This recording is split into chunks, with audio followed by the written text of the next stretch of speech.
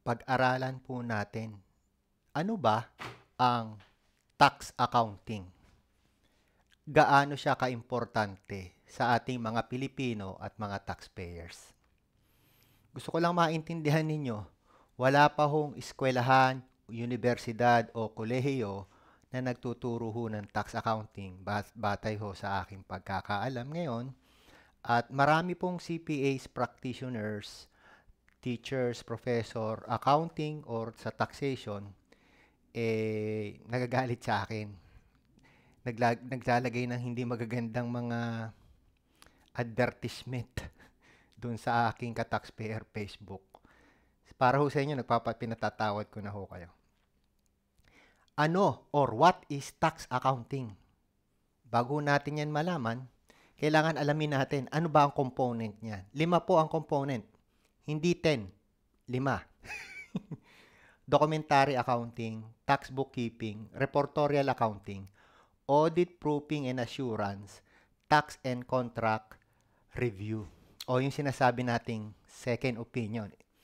Ito po ay mga negosyo para ho sa mga accountants, CPAs, lawyers, bookkeepers, consultant, at sa lahat ho ng OFW, pwede po kayong maging tax accountant o tax consultant kung ayaw nyo kung tawagin ang sarili nyo ng tax accountant. Libre po yung mag- pagiging tax accountant, tax consultant.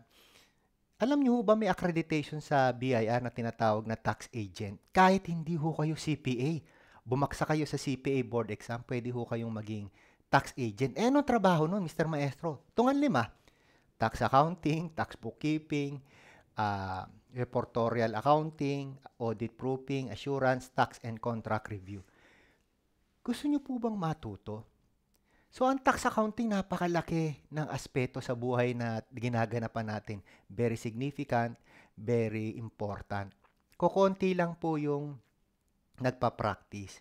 Ngayon, kung gusto nyo pong magkaroon ng hanap buhay dito, ini-invite ko po kayo. Okay? Ano ho kailangan nyo?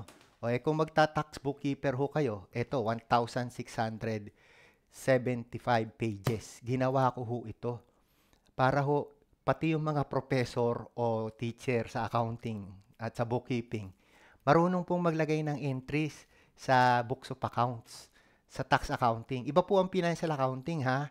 Kasi financial accounting, wala namang books of accounts yan eh. Managerial accounting, wala rin books of accounts.